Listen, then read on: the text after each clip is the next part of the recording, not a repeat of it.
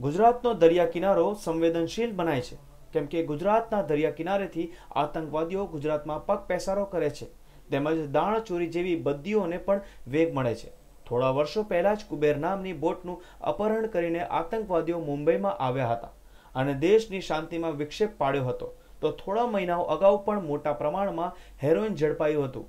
આ અને આવી ઘણી બધી ઘટનાઓ બાદ ગુજરાતની સમુદ્ર સુરક્ષા પર ચાંપતો બંદોબસ્ત ગોઠવી દેવાયો છે. તેમ છતાં પણ કોઈવાર અસામાજિક તત્વો દ્વારા સમુદ્રી સીમા પરથી ગુજરાતમાં પ્રવેશ કરવાની કોશિશ ન કરે તે માટે સમુદ્રમાં માછીમારી કરવા જતા માછીમારીઓના આવા સંદિગ્ધ જહાજો કે બોટ દેખાય તો તાત્કાલિક શું પગલાં લેવા તેની મહત્વપૂર્ણ જાણકારીઓ સેમિનારમાં આપવામાં આવી હતી.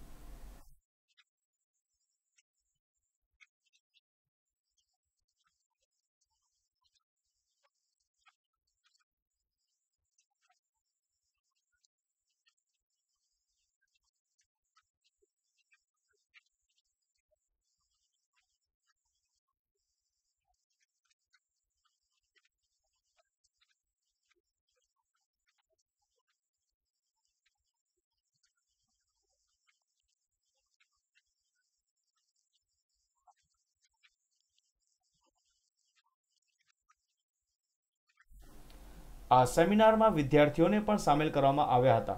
જીપીએસસીની પરીક્ષામાં ઉત્તીર્ણ થયેલા વિદ્યાર્થીઓને સામેલ કરવાનો મુખ્ય ઉદ્દેશ એ હતો કે આવા વિદ્યાર્થીઓ પણ સમુદ્રની સુરક્ષામાં પોતાની ફરજ નિભાવી શકે છે.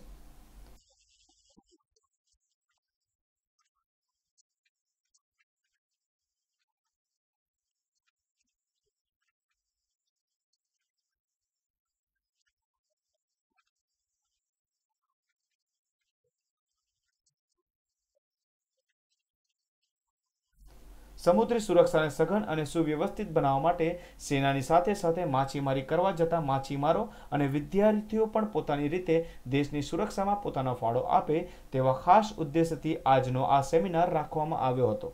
Bureau report, news online Gir Somnath.